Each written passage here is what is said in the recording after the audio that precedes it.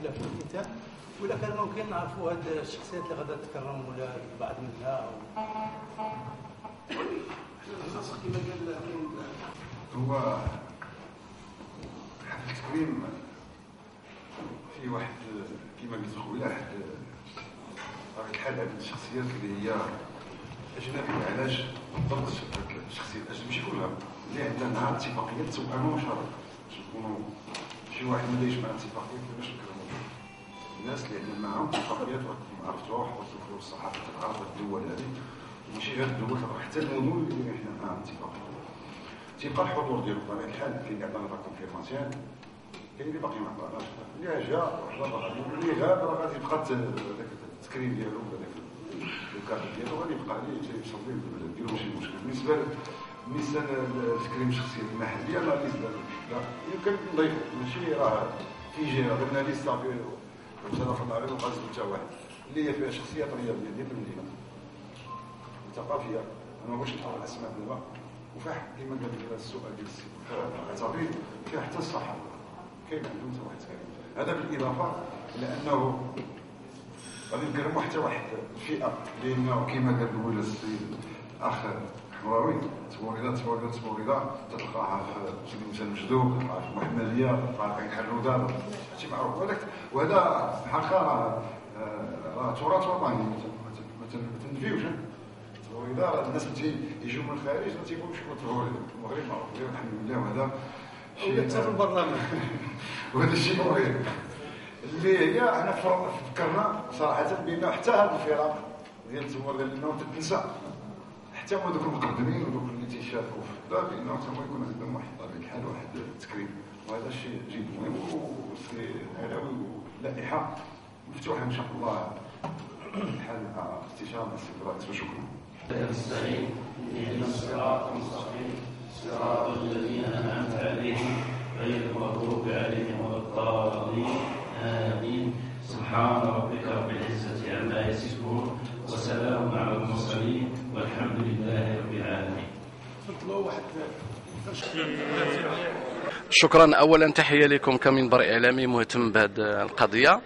اللي هي قضية وطنية ماشي قضية ديال المحمديه بوحدها لأنه تتأرخ واحد الذكرى تاريخية وطنية ذكرى 54 ديال زيارة جلالة المغفور له محمد الخامس لمدينة المحمدية بالضبط في تاريخ 25 6 1960 إحنا الآن تنبنيو لواحد الحدث اللي تنتمناو انه يدوم في الزمان.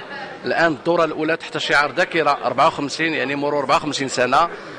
وغادي نضموا فيها الأسبوع الثقافي للتراث بمدينة المحمدية. اذا هذا هو آه، زمنيا وهذا هو الحدث اللي تنأرخوا ليه الآن.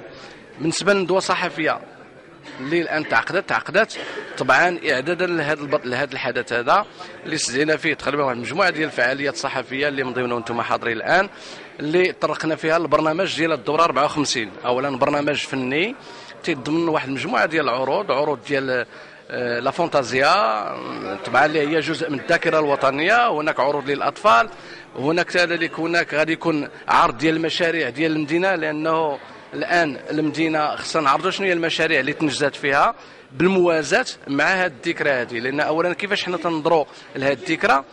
من 1960 المحمدية طبعا ولا أي مدينة مغربية عندها ذكرى. لأن الذكرى ما بداتش في 1960 ولكن بدات ما قبل 1960 ولكن حنا الآن تنحاولوا انه نتوقعوا زمنيا في هذه الفترة ما بين 1960 ثم إلى الآن ثم في المستقبل. الآن الدورة الأولى غادي لها واحد المجموعه ديال العروض اللي عندها علاقة بالتراث لا فونتازيا هناك مجموعة من آه، ألعاب الأطفال ألعاب ترفيهية تثقيفية. وهناك عرض لمجموعة من الصور اللي تتارخ لهذا الحدث اللي هو حدث آه، تسمية مدينة المحمدية بعدما كانت طبعا مدينة فضالة آه، سابقا.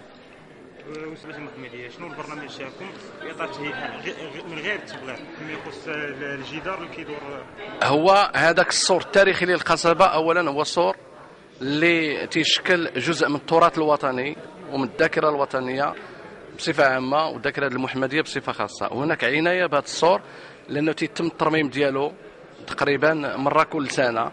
تتعقد صفقات وتتم الترميم ديالو باش نحافظوا على ديك الهوية التاريخية ديال القصبة كنواه أولى لمدينة المحمدية. هناك اهتمام ليس فقط بالقصبة هناك مشاريع بالموازاة تدار تدار. وأنا راه في الندوه الصحفيه آه، تدخلوا بعض الاخوان الصحفيين وركزت على واحد الجانب مهم. حنايا الآن كيفاش نأسسوا لهذا الحدث؟ تنعتمدوا مرجعية مهمة اللي هي الخطاب ديال جلالة الملك محمد السادس نصره الله خطاب العرش ثم خطاب تراث الملك والشعب. في خطاب العرش جلالة الملك أشار إلى الثروة اللامات ديال المغرب وهنا خصنا نفهموا جميع على أن المغرب لا يقاس فقط بثروته المادية ولكن بثروته اللامادية. الدليل وهنا الآن راه يصنف من بين الدول اللي هي متقدمة جدا في هذا الجانب. هذا وطنيا. محليا أنا طرحت بالنسبة للاعداد للدوره الثانية ديال هذا الحدث. خصنا وخص الفعاليات كلها لا الصحفية ولا الأدبية ولا التعليمية ولا تحاول تنخرط في الإعداد للدورة المقبلة انطلاقا من هذه المرجعية. بمعنى الدورة الثانية ما غاديش يقتصر الأمر فقط على الجانب الفني والتبوريده وهذا ولكن خص تكون ندوات اللي تتكون تتأرخ للذاكرة وكذلك اللي تبحث في أغوار وفي عمق الذاكرة المغربية. ليس فقط نبقى محصور ولكن استشراف المستقبل كذلك.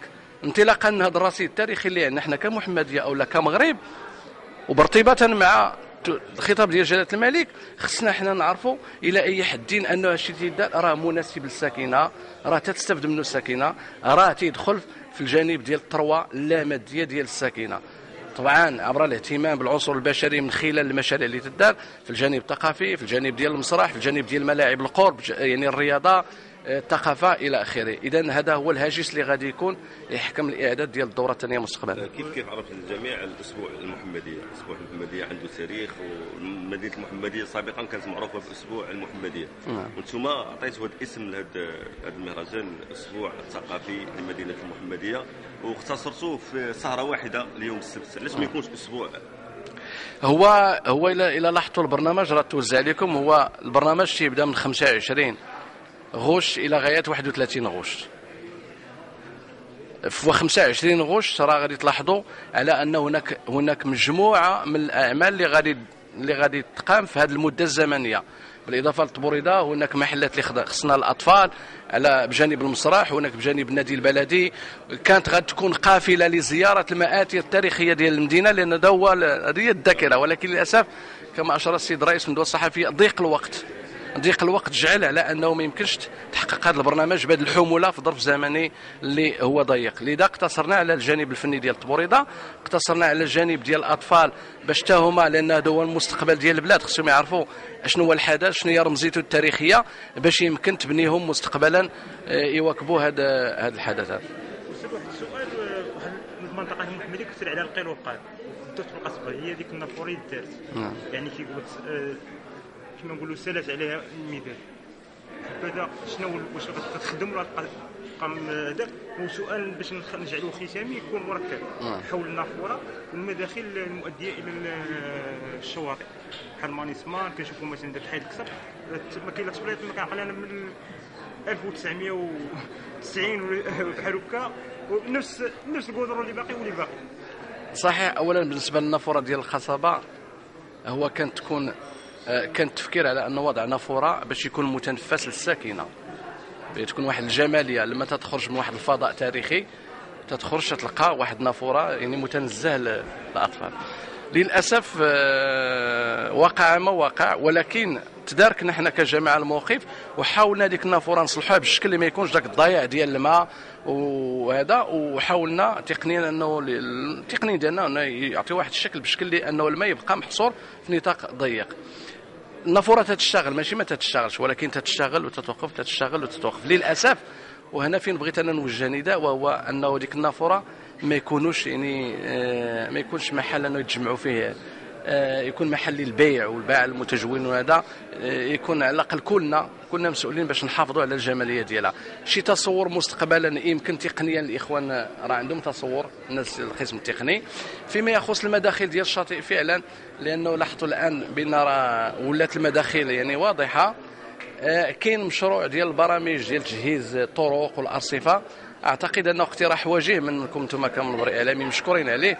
وسيرفع كتوصيه من أجل تحقيقه وأتمنى أن ما يكونش هذا كلام تسيه لكن لا منبر إعلامي يقترح اقتراح وجيه وأنا ألتزم بتبليغه وإبلاغه للمسؤولين. وشكرا. شكرا. بغيت واحد قبل ما نختموا هذا التصريح.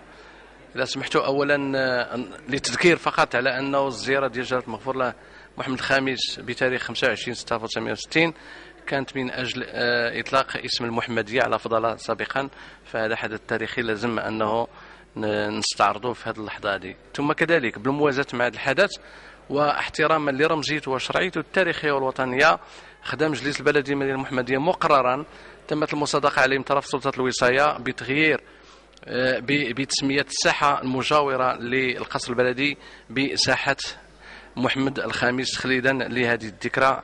اللي تنعيشها الآن. بالإضافة كذلك لهذا الشيء أنه ستقام مسهرة فنية كبرى يوم 30 غش إن شاء الله بملعب البشير غادي يشاركوا في واحد المجموعة ديال الفرق موسيقية مهمة اللي غادي تساهم بدورها وغادي ستدلو بدلوها لمواكبة الحدث ولإنجاحه وفق ما يرتضيه الجميع. وشكرا.